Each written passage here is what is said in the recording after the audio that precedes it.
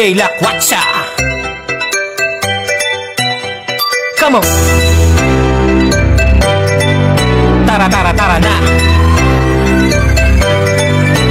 Ano pa ba ang hinihintay nyo? Halika na sumama.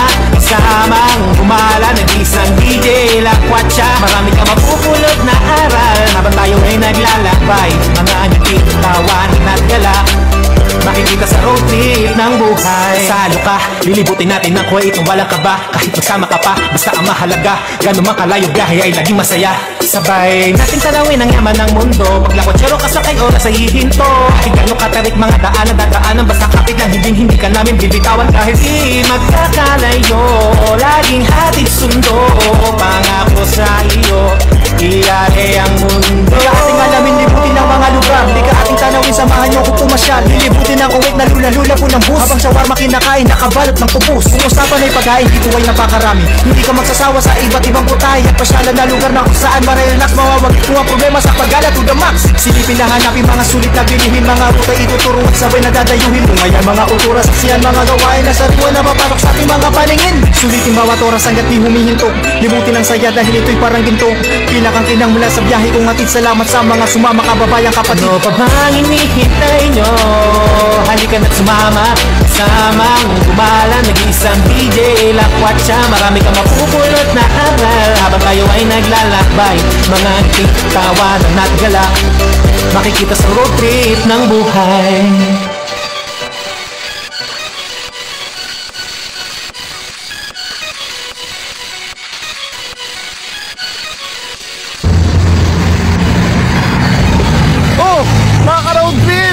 kamusta na kayo dyan? Yung mga kababayan natin dyan na nakatutok at inaabangan talaga dito yung ating road trip with DJ Lakwatsa.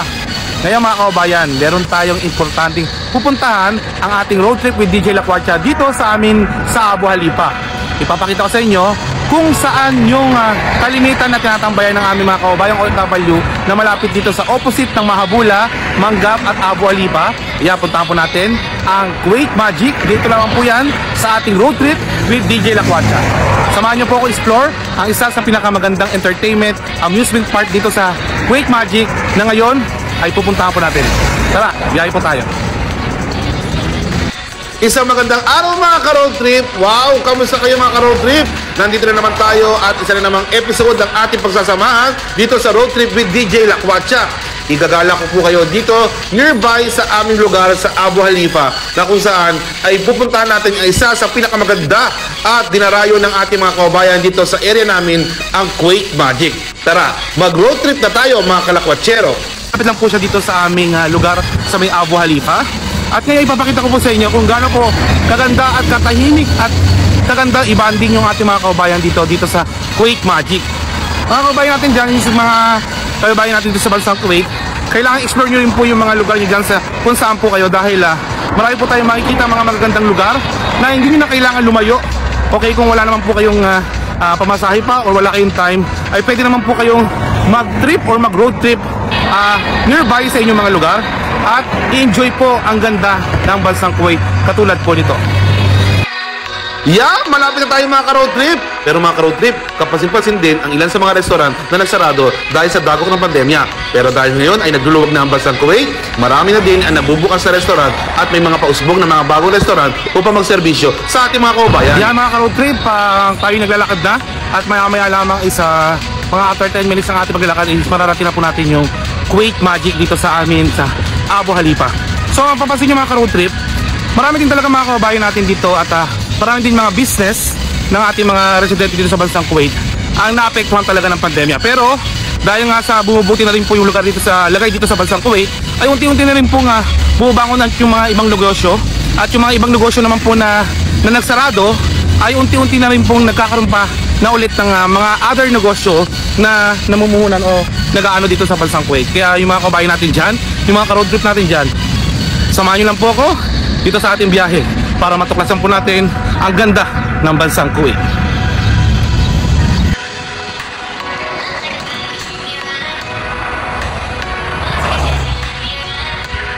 Yeah mga ka-road trip, Kaya nga po gaya na sinabi ko sa inyo, explore nyo lang po yung mga lugar ninyo mga ka-road trip dahil dito lang po sa mga gilid-gilid natin sa mga kung saan tayong lugar ay meron na po tayong mga pwedeng pasyalan katulad po nitong Sea at yung The Dome na isa po sa mga dinatayo ng ating mga kababayan at yung mga residente na malapit po sa may Apo, Halipa at Manggak. Makikita nyo po dito yung iba-ibang klase ng mga restaurant na pwede po natin ah, pagbandingan ng ating mga kababayan. Kabilang na po yung mga OFW na gustong makapag-hangout sa kanilang mga ah, kaibigan, mga katrabaho. At ito naman po mga kababayan ay ah, nasa loob lang po ng mga complex na ito at pwede-pwede po natin tambayan at road tripan. Ayos mga ka-road trip! Hindi mo na kailangan lumayo pa dahil malapit lang sa inyong mga lugar ay makakatagpo kayo ng mga pasyalan na hindi nyo inaasahan na isa sa pinakamagandang spot na pwede nyo puntahan at ng inyong mga tropa. Tara, pasukin Yan natin. mga road trip, nandito na po ngayon tayo sa isa sa bina, dinadayo ng ating mga kabayan dito sa Abu Halifa. Ito yung Dome. Ito po yung isang complex na meron pong makikita mga ilan sa mga fast food chain na pwede pong pagkainan ng ating mga kababayan. Kaya mga road trip, pasok tayo. Oops! Paalala lang mga ka-road trip ha, nasa gitna pa rin tayo ng pandemya. Kaya may pa rin natin sundin ang mga minimum health protocol standard na pinatutupad ng ating mga bansa. Tulad ng pagdadala ng face mask, social distancing, at pagdadala ng mga alcohol sa ating mga lugar na pupuntahan para safe tayo mga kalakwatsero. Tara, explore natin ang ganda ng lugar na ito. Mga ka-road trip, nandito na tayo sa loob ng The Dome. So kapasin-pasin mga kababayan na ilan lang po yung mga restaurant na bukas dito. Pero ang kinaganda dito mga kababayan, itong coffee shop na to na nasa gitna ng ah, The Dome, ito yung pinaka-attractive sa mga kababayan natin, especially sa mga residente ng bansang Kuwait. Dahil ito ay napapagligiran ng mga, ayan, yung mga mga fountain dito sa The Dome. Siyempre naman mga ka-road trip, hindi mapapauli ang mga sikat na palaruan na binuksan na sa publiko at para sa ating mga kababayan upang mag-enjoy ang ating mga kabataan at pati mga chikiting na dadali natin sa ating mga road trip. Tara, explore pa natin ang ganda ng Quake Magic. Finally! Nandito na tayo mga ka-road trip! Harap pala ng mall ay matutuwa na talaga kayo at pang Instagrammable at TikTok talaga ang lugar na ito. Tara, pasukin pa natin at patutuklasan nyo kung ano ang pinakamaganda at dinarayo ng mga kababayan natin na bumibisita dito sa Quake Magic. Yan, syempre mga road trip, kailangan pa rin tayo sumunod sa minimum health protocol standard ng bansang Kuwait. Hanggang ngayon is kinakailangan pa rin po ng face mask dito sa loob ng mall. Para sa kaligtasan ng lahat ay napapatupad pa rin ng face mask at temperature check ang mall na ito para sa lahat ng mga biyahero at mga ka-road trip natin na pupunta dito. mga road trip, ngayon tayo sa loob ng mall. At mapapansin nyo mga road trip, is walang mga masyadong tao dahil lang dating talaga ng mga residente dito tsaka yung mga kapwa natin OFW, pupunta sila dito hapon. So ngayon is time check is uh, magkaming 4 o'clock pa lang so mga 5 o'clock 6 o'clock is dadami na po yung mga kababayan natin pati po yung mga residente na bumubis sa tip. Isa pa sa nakakapangha mga ka-road trip, itong disenyo po ng mall. Mapapansin nyo po, is parang, uh, para kang nasa Egypt. Kaya yung mga kababayan natin dito, pag pupunta sila dito, is tuwan-tuwa sila dito sa mga nakaukit dito sa mga wall ng mall na to. Wow! Tingnan nyo naman mga ka-road trip. Disenyo pa lang ng mall. Talagang mamangha ka talaga sa mga nakaukit na larawan sa mall na ito na hango sa history ng bansang Egypt. Talaga namang hindi akalain na marami talaga ang namamangha at napapapicture sa lahat ng mga pader dito sa mall na ito na hango sa mga larawan at mga kuwa ng mga history ng bansang Egypt. Talagang wow talaga ang ating road trip sa mall na ito. Oh, iwan ko muna kayo mga ka-road trip ha. Magpapapicture muna ako ha. Para pang Instagrammable at TikTok at Facebook na rin. Hmm. Tara mga ka-road trip, picturean na!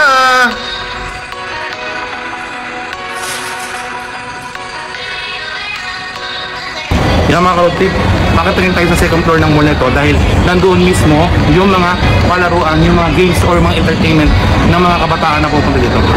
Tara, alamin natin. Entertainment games ba ang hanap nyo mga ka-road trip? Siyempre, hindi mapapauli ang mall nito na talagang binuksan na sa publiko ang kanilang mga palaruan upang mag-enjoy ang mga kabataan kabilang na ang mga residente na bumibisita sa mall nito. Mag-ingat lamang po at kailangan sundin pa rin ang mga minimum health protocol standard na pinatutupad ng mga palaruan. Kaya enjoy mga chikiting! palaruan yung mga games ng ating mga kababayan na pupunta especially po yung mga residente. Kaya po sinabi ko sa inyo na nagluwag na po ang bansang Kuwait at patuloy na rin po nag-open ang iba, ang iba sa mga establishmento. Kabilang na yung mga entertainment center at mga amusement park na tiyak naman na nag enjoy yung mga kabataan. Especially yung mga kababayan natin o yung mga kabataan dito sa bansang Kuwait na sabik na makalabas sa kanilang mga bahay. Kaya ngayon ini-enjoy nila dito sa paglaro ng mga games. Na-miss nyo ba ang lugar na ito mga ka-road trip? Malamang marami na kami ito at kabilang na ating mga kabataan at mga chikiting na talaga naman nag enjoy sa mga palaruan at mga entertainment na may kita sa loob ng mga mall.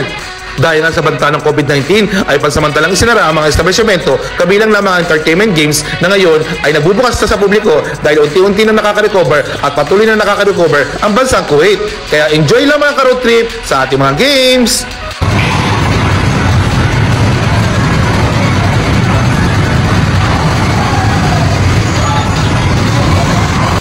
Pinakamagaganda dito sa mga road trip, yung mga attractive na mga katulad to na talagang patok sa mga kabataan, especially yung mga residente ng bansang Kuwait. Kaya talagang enjoy na enjoy po talaga sila dito sa kanilang pamamasyal sa Kuwait man. O sa mga nangugutom dyan, may mga food court din dito na pwedeng pagkainan na ating mga ka-road trip na bibisita sa mall na ito. Isa pa sa mga maganda dito mga road trip ay yung makikita ka ng camel. Yan. So yung makikita nyo sa desierto, dito makikita nyo na po. Yan, katulad niya mga road trip. Naglalakad siya. At isa siya sa mga nagbibigay entertainment dito sa amusement park na to, sa Kuwait Magic. Yan mga road trip. So, napakaganda, napaka ang ganda ng place na tambayan. Especially yung mga kabayan natin dyan na stress sa trabaho. So, ito yung napakalapad na lugar na ito na pwede kayong ah, magtampisaw sa sa sa dagat at umupo dito sa napaka ah, puting buhangin nito ay lahat po ito available basta sundin pa rin po yung mga rules na pinatutupad po ng mga mall sa inyong mga lugar. Gusto mo bang makalangap na masarap na simoy ng hangin mga ka-road trip? Hindi naman mapapahuli ang mall nito sa kanilang napakalaki at napakagandang amusement park na talaga naman mag enjoy ang mga chikiting at kabilang na marelax ang ating mga kaubayan na gusto magpahinga sa kanilang mga trabaho. Talagang mag enjoy ka. Nandito pa si Horsey, nandito pa si Harsey, at nandito pa ang ating mga camel na talaga naman mag enjoy ang ating mga kalakwatsero.